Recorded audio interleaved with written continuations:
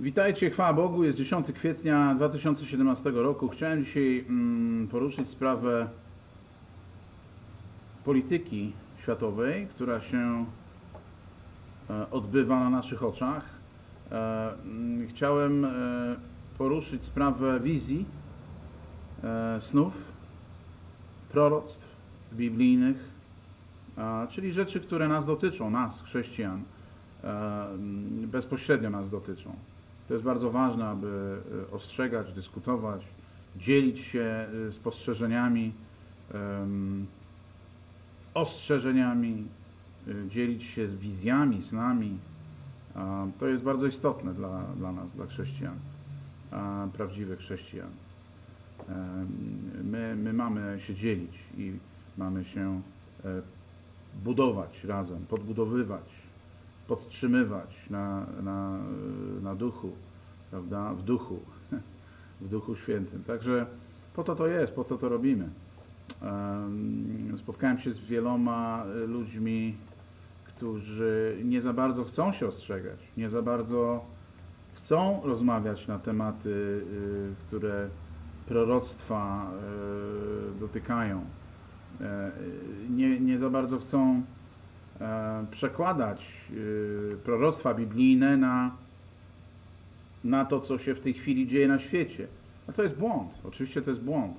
My mamy e, się ostrzegać, my mamy się dzielić swoimi spostrzeżeniami, e, mamy e, trąbić szofar, prawda, w trumpet i mamy e, ostrzegać innych, e, aby e, wiedzieli, co się dzieje na świecie, aby umieli rozpoznać, w którym momencie mniej więcej, w jakim sezonie są, znajdujemy się, prawda? To jest bardzo istotne, to jest bardzo ważne. A więc tak, y, no, co do moich snów, moich wizji, to wygląda to w ten sposób, że może ja, może ja trzy takie sny, wizje w snach, które miałem, Wam opowiem. Rok temu, a mniej więcej rok i trzy miesiące temu, Pan Jezus Chrystus przyszedł do mnie we śnie, w wizji. Miałem bardzo, bardzo wyraźną wizję, e, kiedy to Pan Jezus Chrystus y, przyszedł do mnie. I powiem Wam dokładnie zdanie, które powiedział. Będę musiał najprawdopodobniej e, przetłumaczyć e, te zdanie e, dla niektórych, bo nie każdy będzie rozumiał e, zdanie e, oryginalnie wypowiedziane, natomiast wielu z Was na pewno będzie, będzie znało i będzie rozumiało. Pan Jezus Chrystus trzymał duży kielich, piękny kielich, w pięknych kamieniach, drogocennych kamieniach ozdobiony, złoty kielich, w, obu w obydwu rękach trzymał. I powiedział mi, widziałem jego cerę piękną, oliwkową, widziałem jego śliczne, cudowne, brązowe włosy, um, bardzo naturalne. Przyszedł do mnie jako, oczywiście Pan Bóg, ale jako człowiek w ciele y, człowieka, tak jak tutaj był e, i chodził po tym świecie 2000 lat temu. Jego zdanie, które wypowiedział, zdanie, które wypowiedział, dokładnie wam powiem, to brzmiało tak. I może być tak, że kielich mojego miłosierdzia nie będzie do końca wypity. Jak wiemy z Pisma Świętego, nikt nie wie, kiedy nastąpi dzień pochwycenia Kościoła. Nikt nie wie, kiedy nastąpi e, e, moment przyjścia Pana Jezusa Chrystusa jako e, Zbawiciela w sensie sędziego, ma wrócić jako lew, ma wrócić jako sędzia srogi, ma wrócić jako e, król, który będzie rządził tutaj królestwem na ziemi, fizycznie, przez tysiąc lat, prawda? I sam Pan Jezus powiedział, Słowo Boże nam nie pozostawia jakichkolwiek wątpliwości, że nikt nie wie, tylko Ojciec wie. Tylko Ojciec wie. Tylko Pan Bóg Ojciec wie, zna datę, zna dzień, zna godzinę. Nikt nie wie. Więc Pan Jezus mówiąc, i może być tak, podkreśla, że sam nie wie, że wtedy, kiedy tata powie, ojciec, Pan Bóg Ojciec powie, enough is enough, to już wystarczy. Przyszedł moment, przyszedł czas. Wtedy Pan Jezus Chrystus pochwyci Kościół. Prawda? Wtedy nastąpią te wydarzenia, które y, potem y, są przewidziane w Słowie Bożym, w Piśmie Świętym, jako, jako proroctwa są, są dokładnie wypi, wypisane czarno na. Więc ten pierwszy człon zdania i może być tak, że kielich mojego miłosierdzia, czyli tą łaskę, którą Pan Jezus Chrystus naszykował, przyszykował dla nas, dla wszystkich ludzi, może tak być, może tak się zdarzyć. W takim tempie, w jakim w tej chwili postępują wypadki na świecie, w takim tempie, w jakim szatan szaleje w tej chwili na świecie.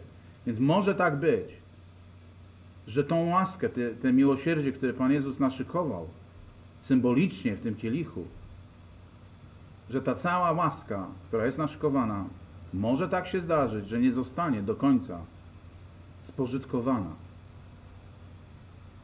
To o to chodzi. Jaki to jest przekład? Jaki to jest message? Jaka to jest wiadomość? Wiadomość jest taka, że nie ma czasu. Po prostu nie ma czasu. Nie ma czasu. Jeżeli zobaczycie na bio, bi, biografie, życiorysy tak zwanych ojców reformacji 500, 450, 400 lat temu, 300 lat temu, jeżeli zobaczycie, jak wyglądały um, ich życiorysy, jak wyglądały ich prace, które, y, które opracowywali, prawda? prace naukowe, biblijne, e, komentarze, encyklopedie, słowniki i tak dalej, i tak dalej, i tak dalej. Ja mam tu na myśli Lutera, mam tu na myśli Calvina, mam tutaj na myśli e, Wesleya,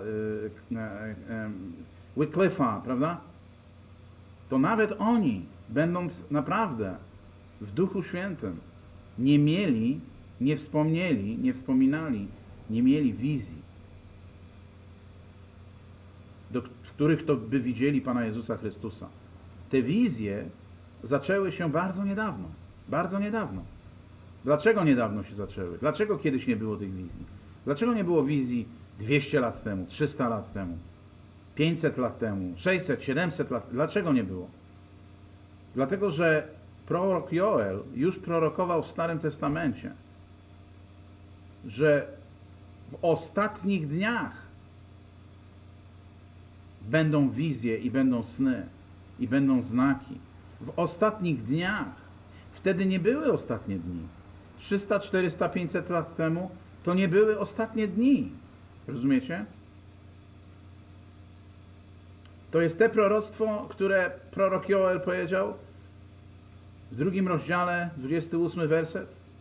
Niektóre Biblie, e, widziałem tam, ta katolicka Biblia, to jest trzeci rozdział Joela, e, pierwszy chyba, czy drugi werset. Ja mówię o prawdziwej Biblii. Prawdziwa Biblia e, Króla Jakuba, King James Bible i każda tutaj Amerykanie w Stanach i w Kanadzie Biblia to jest, to jest drugi rozdział, 28 werset. Każda Biblia podaje, jak przeczytacie, że to będzie w ostatnich dniach, w ostatnich dniach. To jest oryginał, z, z oryginału zapisane. E, apostoł Piotr w drugim rozdziale dziejów apostolskich cytuje proroka Joela. Cytuje go dokładnie. To proroctwo właśnie powtarza i cytuje. I też mówi, że w ostatnich dniach, w ostatnich dniach. Więc jeżeli spojrzymy na to, co się teraz dzieje, jeżeli spojrzymy na kościoły w Iranie, kościoły na Bliskim Wschodzie, kościoły w Chinach. Na przykład kościół w Iranie jest to najszybszy, najbardziej, e, jak to po polsku powiedzieć, Najszybciej rozwijający się kościół chrześcijański na świecie jest w Iranie. Właśnie oczywiście zielonoświątkowy kościół, pentakostalny. Bo przeczytacie w Ewangelii Jana w czwartym rozdziale, Pan Jezus mówi, od tej pory, niedługo już, wszyscy będą czcili, modlili się do Pana Boga Ojca w duchu, w duchu. Przeczytajcie sobie, czwarty rozdział Ewangelii Jana. Pan Jezus się zwraca do kobiety. Kobieta mówi: Słyszałam, że wy tam macie swoją świątynię, wy, czyli Żydzi, że tam chodzicie i tam się modlicie do swego Boga. Pan Jezus powiedział: Uwierz mi, że niedługo nie będziemy się modlić w żadnych świątyniach. Będziemy się modlili w duchu. I pamiętajcie, że modlić się, modlitwa musi być w duchu. Z głębi serca, w duszy, z duszy płynąca, z serca płynąca w duchu. Jeżeli będziecie kochać Pana Jezusa Chrystusa w duchu swoim i z ducha swojego, z duszy swojej się do Niego modlić, to otrzymacie wszystko, co poprosicie. A Duch Święty będzie w Was mieszkał i Was prowadził. To tak pokrótce. Natomiast e, wracając do tych snów i wizji, zobaczcie ten cudowny fakt obiegł świat chrześcijański w całych Stanach Zjednoczonych, w, w Kanadzie, e, w krajach protestanckich, to, to, to jest bardzo, bardzo e, significant, bardzo ważne wydarzenie. Nie tak dawno um, Munaf Ali, um, jeden z liderów, bardzo, bardzo y, znany lider y, w Arabii Saudyjskiej, syn jakiegoś tam znanego szejka, e, multimilioner, miliarder, rzucił miliony swoje, rzucił, odrzucił miliardy, odrzucił e, pola naftowe swoje, wszystko odrzucił i, i został e, nawrócony przez Pana Jezusa Chrystusa na chrześcijaństwo. Muslim leader miraculously raised from the dead and converted. On umarł on umarł. Klinicznie nie żył przez długi czas. Pan Jezus Chrystus go wzbudził do życia. Dał mu nowe życie, Pan Jezus Chrystus. Człowiek odrzucił wszystkie miliardy i poszedł za Panem Jezusem i został chrześcijaninem. To, to jest chrześcijaństwo. To jest chrześcijaństwo. To jest dowód na to, że proroctwo Joela sprawdza się wspaniale, fantastycznie, cudownie, właśnie w ostatnich dniach. To są ostatnie dni. Takie rzeczy nie miały miejsca 100 lat temu. Takie rzeczy nie miały miejsca 200, 300, 400, 1000 lat temu. Po prostu nie miały miejsca. A teraz mają, bo to są właśnie ostatnie dni. To jest ten artykuł, o którym wspominałem. Możecie sobie zobaczyć.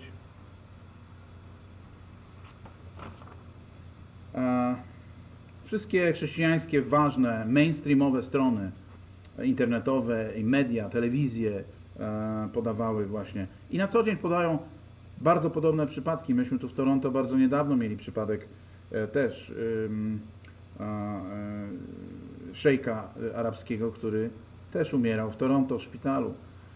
I jak to on powiedział, poprosił Allaha, żeby mu Allah przyszedł i powiedział, gdzie on pójdzie, gdzie ja pójdę. On mówi, on się nazywa Nazir Sadiki, ten człowiek. I mówi, że modlił się do Allaha i prosił Allaha, żeby Allah powiedział mu, gdzie on pójdzie. On się bał umierać. On wiedział, że on umiera. I mówi, that night, when I was dying, when I was just left to die, w tą noc, kiedy umierałem, kiedy byłem zostawiony na łóżku w szpitalu w Toronto, aby umrzeć, Allah didn't come. Allah nie przyszedł. Mohammed didn't come. Mohammed nie przyszedł. But Jesus came. Ale Pan Jezus Chrystus przyszedł. I mnie uratował. I powiedział do niego, Pan Jezus Chrystus jak przyszedł, powiedział I am the God of Abraham, Isaac and Jacob. Ja jestem Bogiem Abrahama, Izaaka i Jakuba. I Pan Jezus Chrystus mu podarował nowe życie. Człowiek oczywiście tak samo odrzucił wszystko, co miał i przeszedł na chrześcijaństwo. I to jest dowód na to, jak Pan Jezus Chrystus działa w tych ostatnich dniach. Jeżeli będziecie się modlić duchem, tak jak Pan Jezus Chrystus prosi, namawia wszystkich, aby się tak modlić. W duchu się modlić, w duchu świętym, ze swojej duszy, ze swojego serca, to będziecie otrzymywali, będziecie otrzymywali łaskę Bożą, błogosławieństwa, uzdrowienia, będziecie otrzymywali sny, będziecie otrzymywali wizje. Po co to mówię? Po to to mówię, że jeżeli ktoś ma takie dary duchowe, jest w stanie określić mniej więcej, w jakim punkcie w historii się znajdujemy. E, to jest dar również poznania. To idzie razem z darem poznania, żeby można było, czytając Słowo Boże, zorientować się, zatrzymać się na chwilę i powiedzieć: O, ja wiem, gdzie, ja wiem, o czym ten werset mówi. Ja wiem, o czym ten rozdział mówi.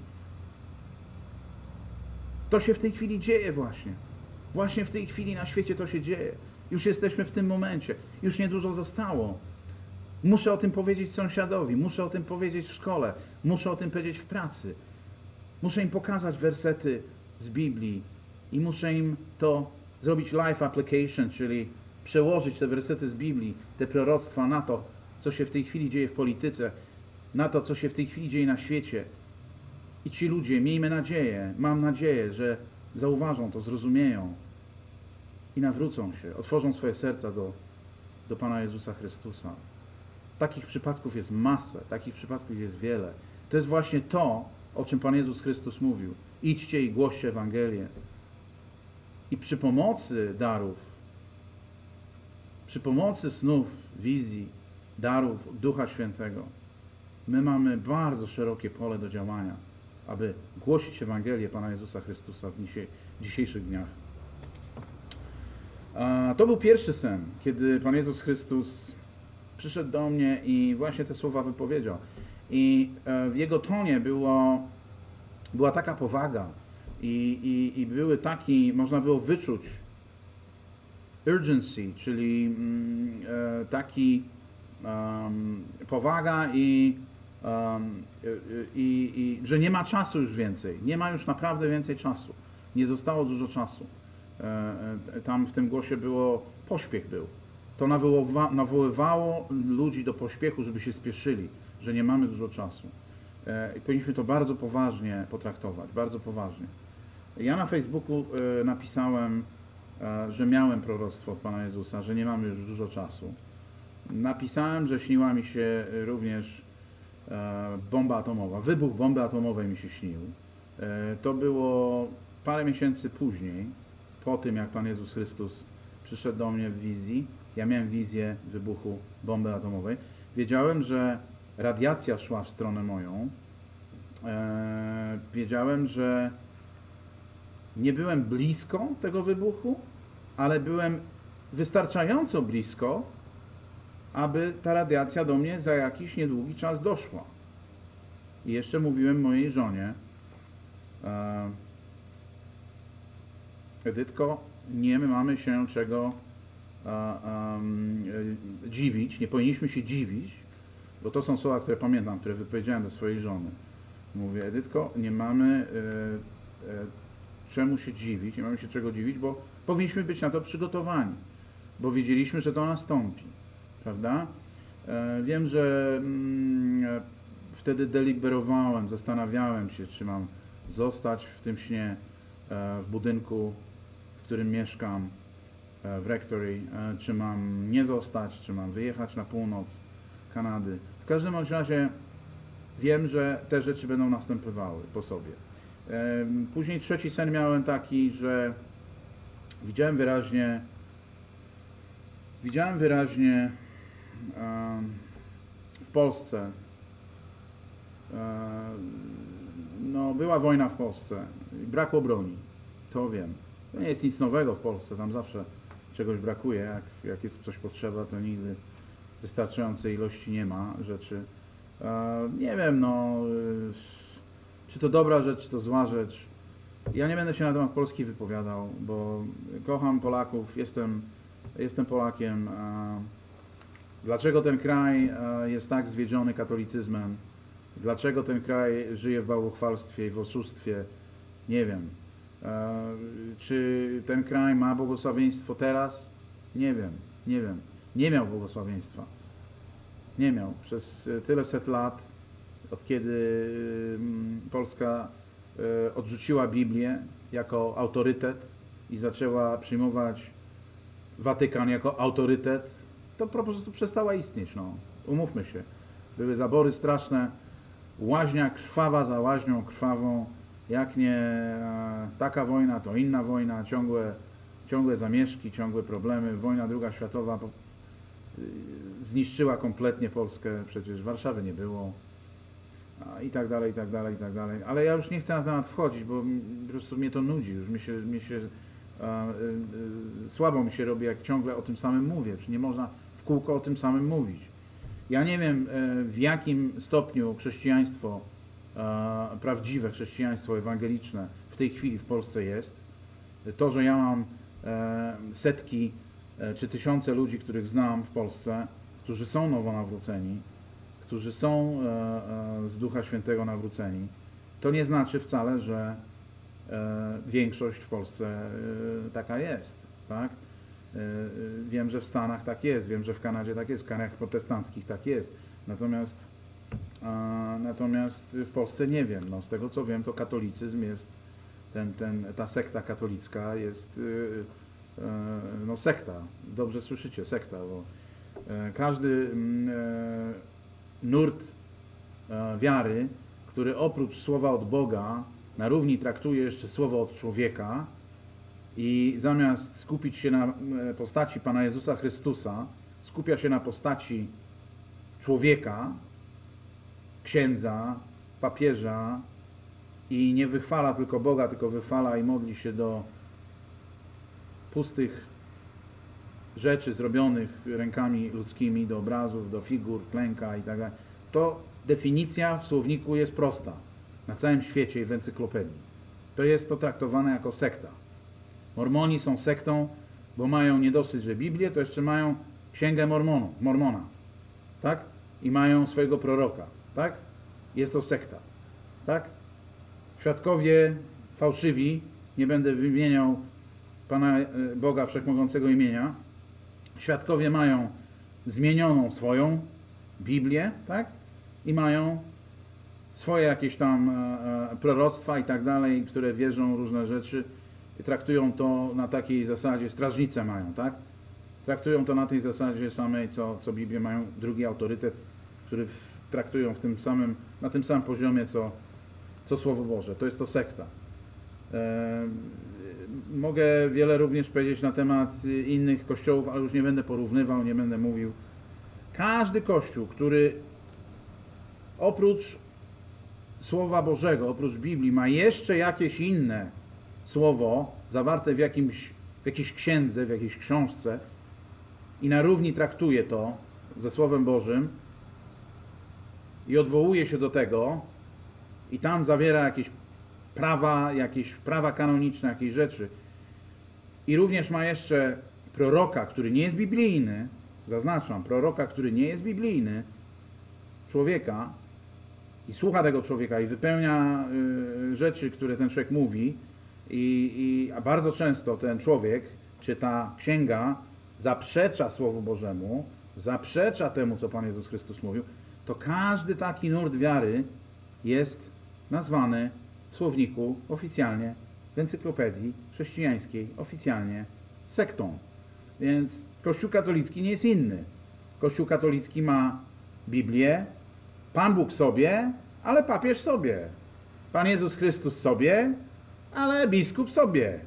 Yy, prawda? I to, co papież powie, to, co biskup powie, to jest święte, to jest najważniejsze i to jest nieomylne.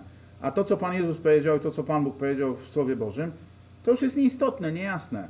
Nie, nie, nie, to nie niejasne, tylko e, nieistotne i nieważne, tak? Przepraszam Was jeszcze raz za swój język, polski, e, mówię, wyjechałem 20 lat temu i na co dzień mówię w języku angielskim, bardzo często się mylę. A, także tak to wygląda. Jest to sekta. Z definicji jest to sekta. E, Także, także tak to wygląda. Ale dobra, już e, wróćmy do wątku, wróćmy do tematu. Temat jest taki. Um, aha, no po co ja to mówiłem? Po to mówiłem, że nie wiem w jakim stanie jest Polska, polskie chrześcijaństwo w tej chwili. Nie wiem, czy ten kraj będzie ochroniony. Nie wiem, czy, y, bo śniło mi się, jak, y, jak brakowało broni. Śniło mi się, że polscy żołnierze biegali, latali, szukali broni. Śniło mi się, że, że była wojna w Polsce. Nie wiem, czy to będzie wojna e, poważna, czy to będzie wojna lokalna, czy to będą jakieś zamieszki na ulicach. Nie wiem, e, tego nie wiem. E, w każdym razie będą na pewno niepokoje. Mam nadzieję, że nie dojdzie do inwazji Rosji e, prostu na Polskę. No mam taką nadzieję. Będę się o to modlił, modlę się o to. Natomiast czy tak będzie, czy nie, tego nie wiem. Powiem Wam tylko dalej, już ostatnie, przejdę do, do ostatniej części mojego nagrania, że reasumując, te rzeczy wiem. Te rzeczy, które widziałem konkretnie w wizjach, to wiem na 100%. Natomiast jeżeli ja opisuję na Facebooku, czy wysyłam e-mailem, czy rozmawiam przez Skype'a, robię konferenc, konferencję na telefonie i daję, wydaję swoją opinię o tym, co może nastąpić, jak może przebiec e, e, najbliższe e, e, nowoczesna historia, e, e, która przebiega już tak od miesiąca, dwóch, to jest nowoczesna historia. Jak ta historia się potoczy, to są moje przypuszczenia. To są moje przypuszczenia, to jest moja opinia tylko. Ja nie jestem prorokiem. Ja nie jestem prorokiem. Ja, ja nie mam e, proroczego słowa codziennie do ucha, we śnie czy w wizji, tak jak to miał prorok Jeremiasz, Izajasz, Zachariasz, e, Mojżesz, prawda? I, i, ja, y, ja nie mam stałej, czerwonej, gorącej linii z Panem Bogiem na zasadzie tu stoi telefon i ja dzwonię i wiem, co się wydarzy. Nie. I ja nie mam takich stałych y, wiadomości co noc e, we śnie, żebym e, wiedział dokładnie, co się wydarzy. Bo gdybym wiedział, to bym, jeżeli by mi było pozwolone, to oczywiście bym to udostępniał publicznie. Natomiast y, mogę Wam tylko powiedzieć, co, co ja myślę, co się wydarzy, jaka jest moja opinia. Moja opinia jest taka, że jeżeli na przykład biorę gazetę, która jest największym w nakładzie, nakładzie się pokazuje w całych Stanach Zjednoczonych, to jest nakład y, grubo ponad 2 miliony codziennie gazety, tak? Ona się nazywa USA Today. Widzicie? USA Today. Ona jest e, z 7 April 7, tak? Um, ona jest, to wydanie było weekendowe od 7 e, kwietnia do 9 kwietnia 2017 roku. I czytamy tutaj US preps action against Syria. Czyli Stany Zjednoczone masowo po prostu przygotowywują się bardzo poważnie do działania przeciwko Syrii. Widzicie tutaj? US preps action against Syria, right? Widzicie? I przeczytam wam tylko pierwszy tutaj nawet taki akapit, więcej nie będę czytał. Palm Beach, Florida. The Trump administration is developing plans to respond to Syrians alleged used the chemical weapons including possible military action and attempt to remove an attempt to remove Syrian President Bashar Assad from power. President Trump and government officials said Thursday. To jest bardzo ważna wiadomość. Bardzo poważnym dzienniku amerykańskim w Palm Beach, Florida, po polsku wam przeczytam. Trump administration, administration czyli administracja prezydenta Trumpa, pracuje nad planami a, odpowiedzi dla rządu syryjskiego odnośnie y, y, ataku chemicznego, który, e, który tam e, Amerykanie e, zauważyli, że, że Syria i rząd syryjski y, dokonał na tych niewinnych dzieciach. Ja nie będę tutaj podważał i mówił, że, że może tak było, może tak nie było, może to była może to było staged, może to nie było staged, czyli czy może to było ukartowane wszystko, może nie było ukartowane. To nie jest moja sprawa. E, Ktokolwiek to zrobił, e, e, odpowie oczywiście za to przed Panem Bogiem. Natomiast e, mówimy o tym, że w trakcie tej tutaj mm, akcji militarnej, którą e, rząd Stanów Zjednoczonych szykuje, ta akcja ma na celu Remove Syrian President Bashar Assad from power. To jest to zdanie. Ta akcja ma na celu obalić prezydenta Syrii Bashara Assada. Wiecie, co to znaczy obalić prezydenta? Zdajecie sobie z tego sprawę, znaczy obalić prezydenta? Obalić prezydenta to znaczy trzeba zniszczyć armię tego kraju, trzeba wejść do stolicy, odnaleźć bunkier, zmieść cały rząd, całą Gwardię Narodową, która chroni ten rząd. Trzeba po prostu huragan, ok, najwyższego piątego stopnia ma przejść, musi przejść przez, przez całą Syrię. Nad tym pracuje rząd Stanów Zjednoczonych. Oficjalny dziennik Stanów Zjednoczonych podaje to. I jeszcze e, tutaj e, USA, USA Today, ta, ta gazeta po, po, e, em, e, mówi, pisze, opisuje, e, że te źródła, które e, podały to tej gazecie, e, to są źródła e, oficjalne rządu, oficjalne źródła prezydenta Trumpa. Czyli e, z grona prezydenta Trumpa ktoś udzielił takiego, takiej informacji e, temu dziennikarzowi, który e, tej gazecie, m, w tej gazecie opisał to. Prawda? Ta gazeta sobie nie pozwoli na to, aby e, podawać jakieś kaczki dziennikarskie, jakieś kłamstwa, oszustwa e, i tak tak. Także tak to wygląda. Ja dokładnie opisałem, jak uważam, że będzie. E, Moim zdaniem Stany Zjednoczone zaatakują Syrię oficjalnie, wejdą do Syrii. E, Najprawdopodobniej e, Wielka Brytania będzie asystowała, będzie pomagała. Może pomóc też, może nie musi, rząd Jordanu.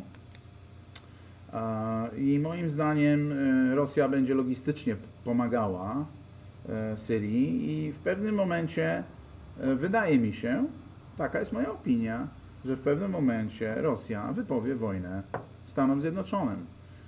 E, Wydaje mi się, że jak Rosja wypowie wojnę Stanom Zjednoczonym, no to wtedy wszystkie kraje, które są za Rosją, oczywiście opowiedzą się za Rosją. To jest Iran, to jest e, Białoruś. Ciężko mi jest powiedzieć w tej chwili, czy są jeszcze jakieś inne kraje na Bliskim Wschodzie, które by się opowiedziały za Rosją oficjalnie. E, Są to mali gracze, e, także e, nie wiem, czy będą chcieli ryzykować. W każdym razie Rosja może użyć tych krajów do, jako, do tego, aby swoje bazy tam mieć posiłkowe na terenie tych krajów. Ja tu myślę o Jemenie, ja tu myślę o tutaj Egipt jeszcze jest, nie, nie wiem co się będzie działo z Egiptem. E, Ale, ale nie po to to mówię, no, po to to mówię, żeby wam powiedzieć, że jeszcze będzie następny front. E, Po to to wam mówię, że, żeby wam powiedzieć, że, że to się wszystko zapali. To już jest zapalone, to ląd, jest, ląd się pali już. Ląd został zapalony 6 kwietnia. Ląd został zapalony przez prezydenta Trumpa. I e, jest tylko kwestia, nie jest kwestia, czy, czy, ta, czy, ta, czy ten ładunek olbrzymi wybuchnie, tylko jest kwestia, kiedy wybuchnie. Kiedy? Jak długi jest ten ląd? Może w ten sposób Wam powiem. Także będzie następny front w Korei e, Północnej. E, Tam przystąpi do wojny Korea Południowa i Japonia. E, Także to, to, to tak samo uważam, że tak będzie. To jest moja opinia. No i w momencie, gdy Rosja wypowie wojnę Stanom Zjednoczonym Ameryki, to każdy kraj, każdy kraj, który ma na swoim terytorium bazy Stanów Zjednoczonych, e, armię Stanów Zjednoczonych, będzie celem, będzie stroną w konflikcie. I Polska taką stroną będzie. Ok? Tylko to Wam mówię. Tylko to chciałem Wam powiedzieć. E, Angela Merkel 6 miesięcy temu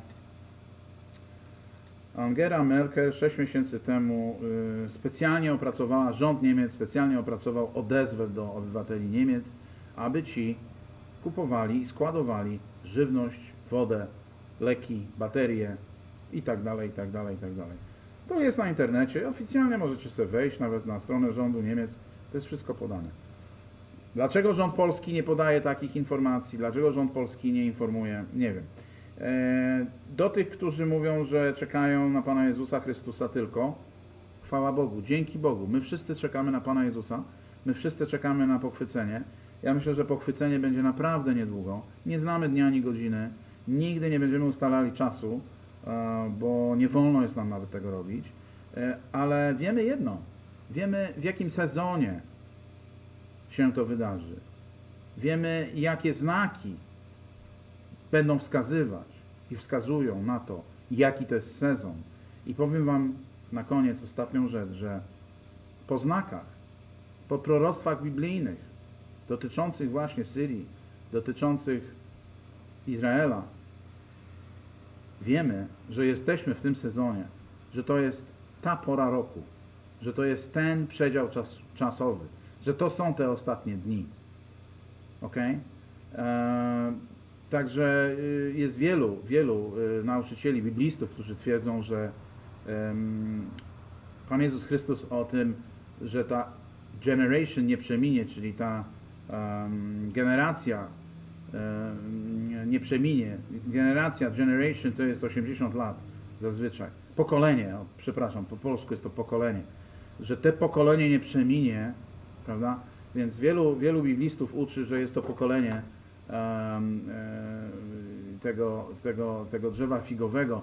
Drzewo figowe zawsze było e, uznawane w Biblii jako symbol Izraela, prawda? I, i mówią tutaj ludzie, że ten czas y, pokolenia 48 roku, ponieważ Izrael a, z powrotem się zszedł e, jako państwo po przerwie, 1700-letniej przerwie, Izrael się zszedł jako kraj, jako państwo, Pan Bóg e, z powrotem. To też jest wszystko w Biblii. To też są piękne proroctwa, które o tym mówiły i przepowiadały, że, że e, Pan Bóg w ostatnich dniach e, zbierze wszystkich mm, ze wszystkich końców, krańców świata, wszystkich Hebrajczyków, prawda, wszystkich Żydów i, i z powrotem ich przy, przyciągnie do, um, przywiezie, przy, przy, przy, przybliży do, a, przywiedzie do, do, do, do Izraela.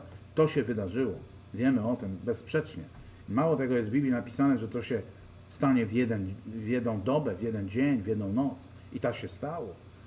Izrael powstał w 1948 roku rezolucją, która miała, odbyła się w jeden dzień, prawda? Więc to wszystko się wypełniło. Teraz jest tylko kwestia, e, no dużo biblistów tłumaczy i mówi, że pokolenie, właśnie te pokolenie e, nie przeminie. Czyli od 1948 roku dodajcie sobie 80 lat, bo pokolenie e, liczy się, przynajmniej e, tutaj w źródłach, które podają, które ja czytam, pokolenie to jest 80 lat. Dodajcie sobie 80 lat do 1948 roku. Mniej więcej wiemy, ja, o jakim pokoleniu mówimy, prawda? Możecie sobie iść do mm, Mateusza 24, przeczytać tam w Ewangelii Mateusza 24 jest to proroctwo, które Pan Jezus Chrystus powiedział. Nie znamy dnia ani godziny, ale wiemy e, e, jaki sezon, wiemy jakie, jaka pora roku, wiemy, że to są ostatnie dni i po prostu e, mój, mój message, moje nagranie jest proste. Módlcie się, starajcie się rozmawiać z kim tylko popadnie na temat proroctw biblijnych. Starajcie się nawracać tych ludzi e, w sensie modlitwy, prawda? Módlcie się o tych ludzi. Módlcie się, niech ci ludzie się modlą, niech się nawracają. E, Nawracajcie się i wierzcie w Ewangelię. Pan Jezus Chrystus powiedział, możemy to przeczytać w Ewangelii Marka. E, wiemy, cały Nowy Testament jest, przeplata się mowa o tym, aby iść i głosić Słowo Boże. I po to to mówię. Przygotujcie swoje serca do tego, aby być wartymi tego, aby uczestniczyć w pochwyceniu Kościoła. E, Wyzbądźcie się e, rzeczy, które Was trzymają. Może niektórzy z Was mają jeszcze jakieś rzeczy, które e, jest to jakieś praktykowanie grzechu, które na co dzień praktykują, które, które powinni puścić. Którzy powinni, niektórzy z Was powinni puścić ten grzech, powinni wyczyścić swoje serca, otworzyć swoje serca, zaprosić Ducha Świętego, żeby ich całkowicie te serca wyczyścił. Zróbcie to, przygotujcie się, bądźcie przygotowani po prostu. Ja to tak robię. E, Wszyscy moi e, ludzie w moim zborze to robią. My dążymy do, e, do świętości. Dążymy. To nie znaczy, że jesteśmy bez grzechu. Nie, nie o to chodzi. Chodzi o to, aby dążyć do świętości. Aby, jeżeli zgrzeszymy, natychmiast repent, czyli natychmiast przeprosić w żalu, w pokucie, przeprosić i więcej tego samego grzechu nie popełniać. To tylko o to chodzi, prawda? Także ja nie uczę perfekcjonizmu, tylko uczę dążenia do świętości, bo to jest bardzo ważne. Pan Bóg jest święty i Pan Bóg chce, żąda, życzy sobie, abyśmy my też byli świętymi. Także e, to jest, to jest biblijne, naturalnie jest to, jest to w Biblii. Także to tylko tyle, to jest na, to jest ta, to jest na dzisiaj.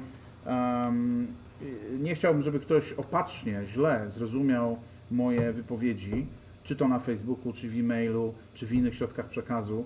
E, Te scenariusze, które ja podaję, e, to nie są scenariusze, e, które dostałem od higher power, od wyższej siły. To nie są scenariusze, które zostały mi przekazane.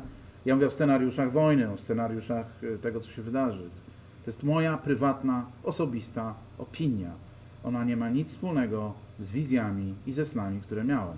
E, I tą opinię mam wyrobiłem sobie na podstawie faktów, które oglądam na bieżąco w mass mediach, które czerpię z moich źródeł, które dostaję na co dzień e, e, różnymi drogami, które do mnie docierają. Także, także tak to wygląda. Co nie znaczy, że te opinie są moje, osobiste opinie, że są nieomylne, że są perfekcyjne, że są w 100% e, e, prawdziwe. Może być e, scenariusz zupełnie inny. I może moje sny i moje wizje sprawdzą się w zupełnie innych okolicznościach. Także proszę nie brać tego do siebie i mm, jak coś nie tak się sprawdzi, czy nie wyjdzie tak, jak ja opisałem w mojej opinii, proszę nie, nie mówić, że o, to jest fałszywy prorok, bo prorokował od Pana Jezusa, czy dostał słowo od Boga, a to się nie sprawdziło. Nie. Sny miałem inne, wizje miałem inne, a scenariusz, który opisałem, to jest mój osobisty scenariusz, który, e, który to jest moja osobista opinia dotycząca wypadków, które mogą się potoczyć w niedługim, w niedługim czasie na arenie międzynarodowej, jeżeli chodzi o przebieg wojny, przebieg frontów, które będą otwierane, e, przebieg, które kraje będą włączone w to i tak dalej, i tak dalej. Także mm, mam nadzieję, że rozumiecie dokładnie o czym mówię i mam nadzieję, że, e, że tutaj nie będzie e, jakichkolwiek dwuznaczności. Także dziękuję Wam kochani. E, Siódma, 19.08, poniedziałek, dzisiaj jest u nas w Kanadzie e, 10 kwietnia. Pozdrawiam Was, zostańcie z Panem Bogiem, e, módlcie się w duchu e, i Duch Święty będzie Wam dawał poznanie, będzie Wam e, dawał sny, wizje, będziecie widzieć, będziecie wiedzieć. To jest cudowne, to jest wspaniałe. Także jeszcze raz, z Panem Bogiem zostańcie i do następnego razu.